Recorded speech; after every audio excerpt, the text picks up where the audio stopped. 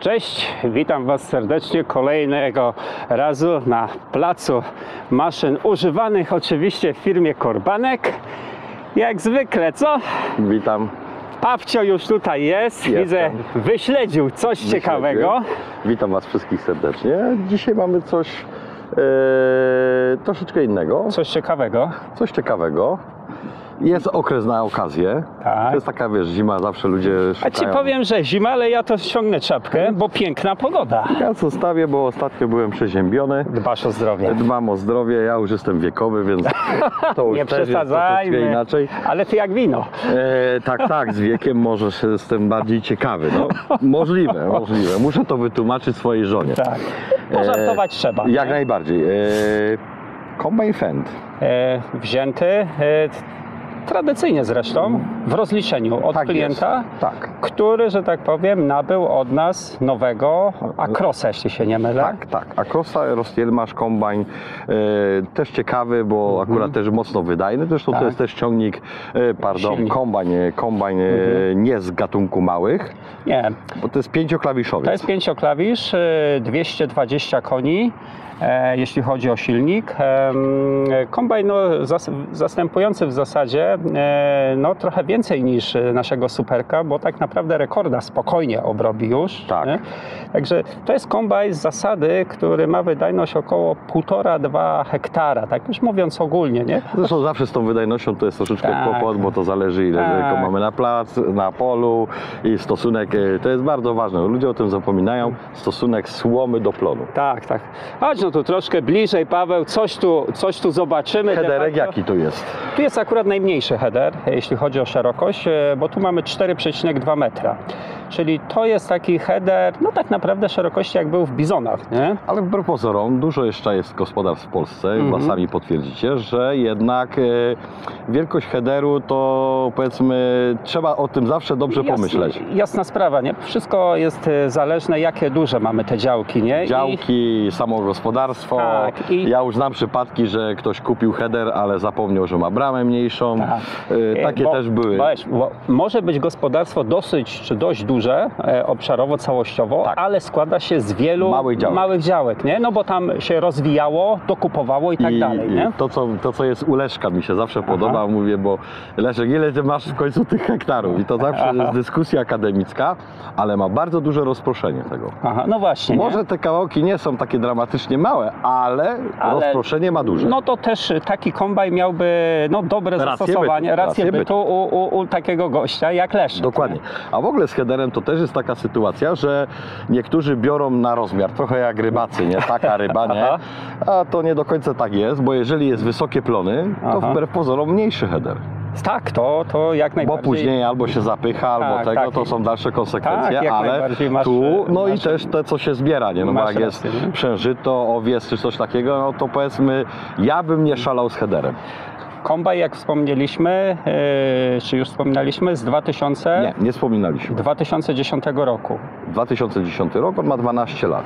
12 lat kombajn i on Hmm. naprawdę pracował. E, Kombaj ze znaną historią, bo Tak. on pochodzi Od nas. oczywiście. Nie? Pełni znana Mhm. historia, tak jak zawsze powtarzamy, imię, nazwisko mechanika, kiedy, o której godzinie, co naprawiał.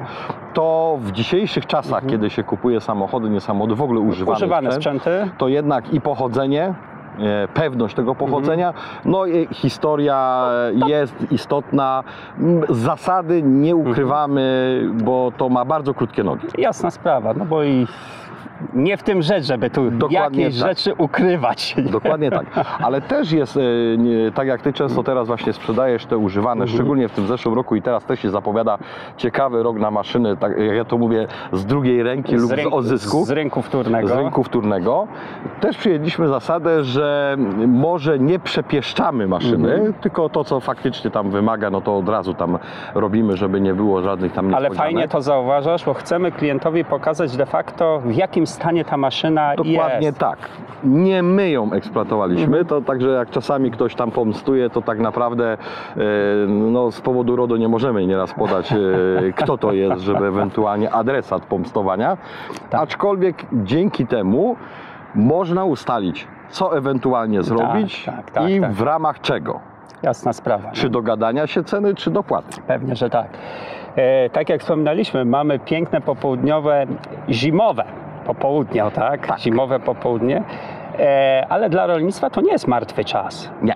Nie martwy okres. To nawet uważam, że jest jeden z ważniejszych okresów. Dokładnie. Bo teraz trzeba podejmować decyzje, co ewentualnie zmienić, Mhm. y, szczególnie teraz w tej sytuacji, którą mamy w tym roku, gdzie ta burza cen tego wszystkiego, no powiedzmy... Problem z dostępnością z też w ogóle. Dosyć, że drogo, to się, długo tak, czekać. To się o, i nie zrobiło. ma. Mhm. I w ogóle rynek używanych został dość mocno przetrzebiony. To nie jest też tak prosto teraz e, używane pojechać Że- i mieć 50 do wyboru. Że czekają na placu i mamy Tak. wybór, nie? Ty tego nie pamiętasz, ale tu kiedyś stało, jak możesz pokazać tamtą część placu, to sobie wyobraźcie, że tam stało ponad 100 kombajnów Bizon.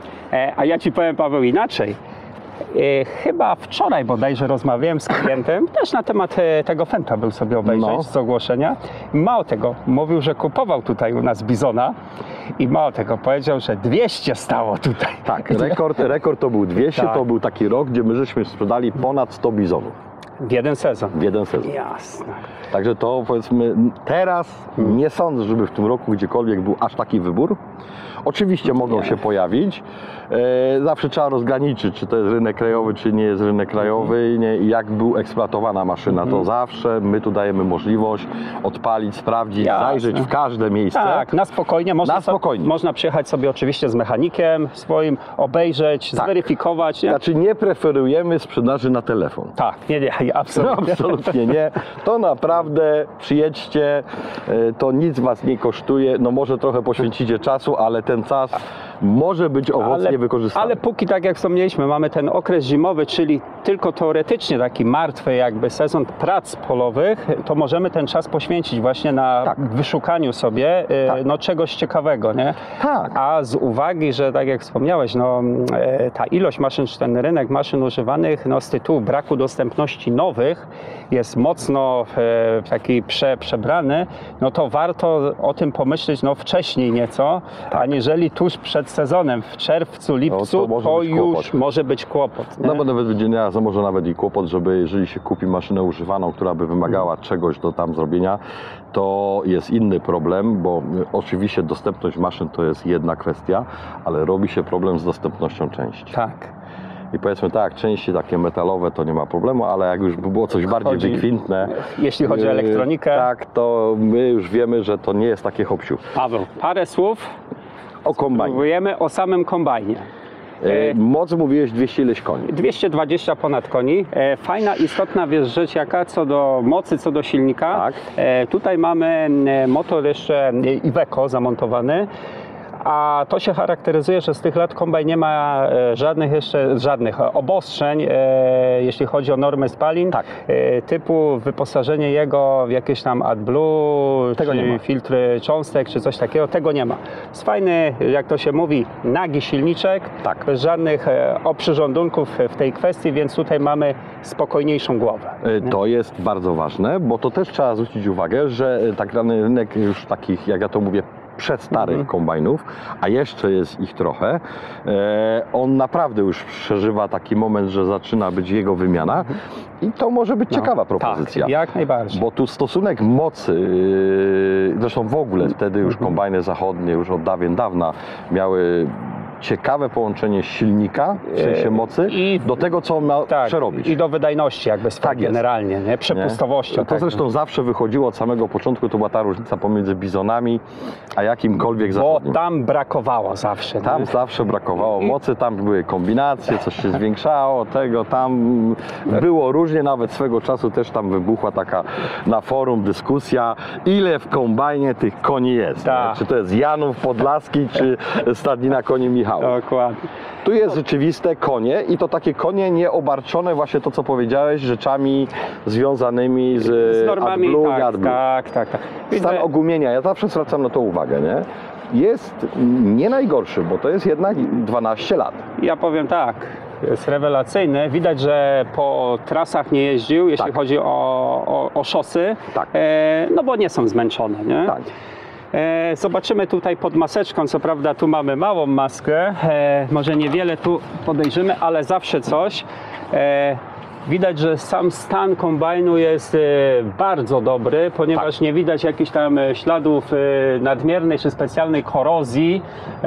De facto ani na ramach, ani tu w kantach, także gdzieś na rożach jest wszystko ok. E, Blok e, elektrozaworowy jest suchutki. Suchutki, dokładnie czysto. tak. Zobaczmy stan pasków. E, te paski też e, są ok, e, nie popękane.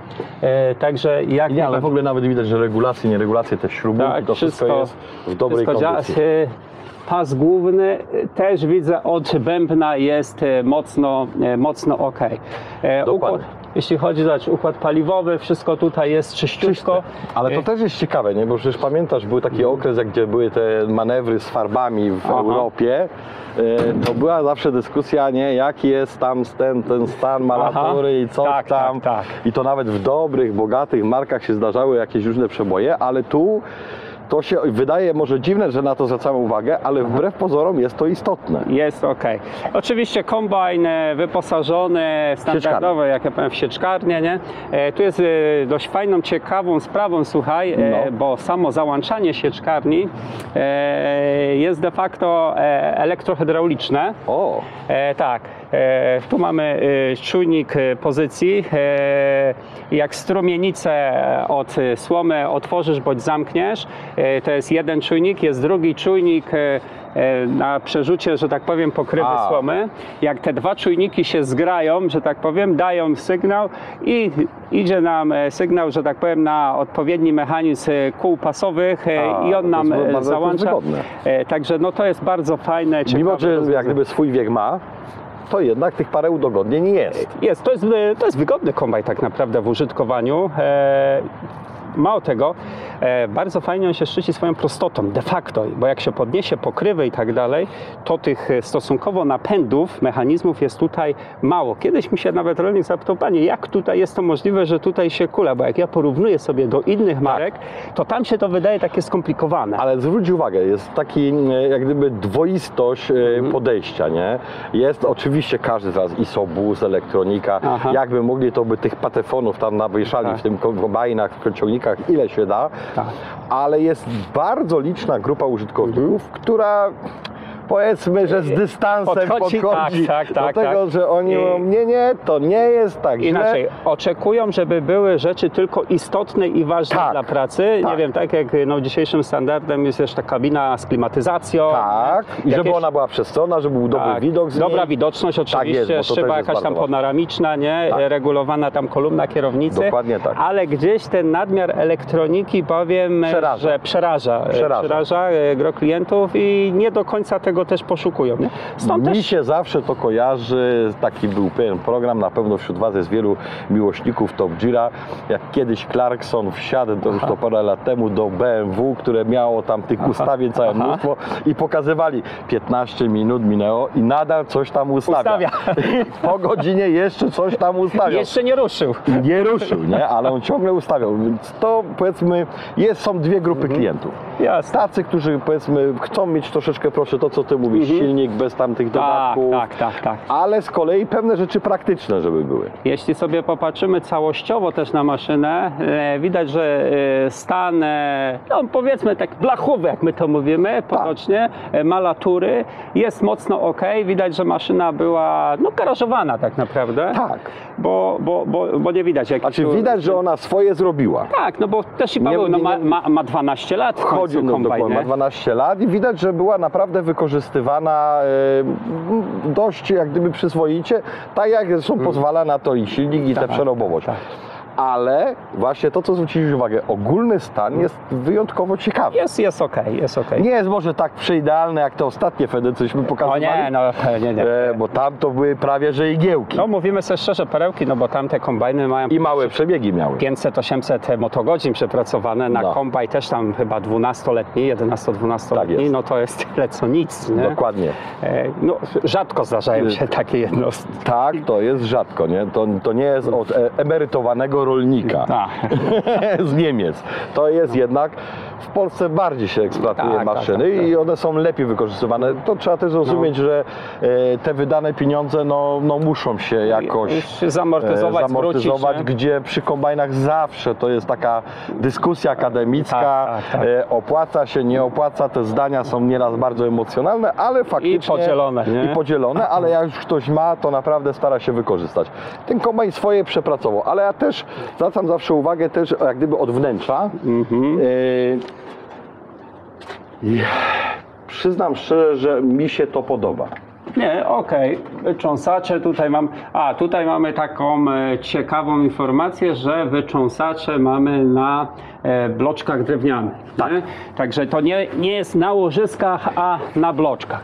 Ja pamiętam jak właśnie Klas chyba, mi się kojarzy, że Klas Aha. chyba jako pierwszy wprowadził klocki drewniane i wielu ludziom się to powiedzmy podobało. Może byś pokazał kabinę. Wskakuje Paweł. Daj, ja potrzymam Ci. I no, i no patrz tak w górę. Ja sobie tu otworzę, podaj nam tą kamerkę, Tak wskoczymy, zobaczymy. E, jest i kabina operatora.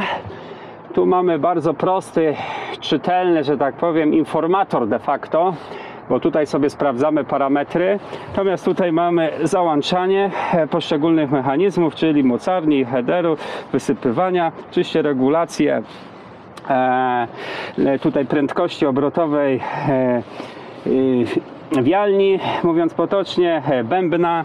E, No i co? Tutaj mamy joystick, który nam służy do sterowania oczywiście jazdą, przód, tył oraz e, hydrauliką. Oczywiście panoramiczna szyba, dobra widoczność. No i tak jak wspomnieliśmy, headerek 4,2 metra szerokości.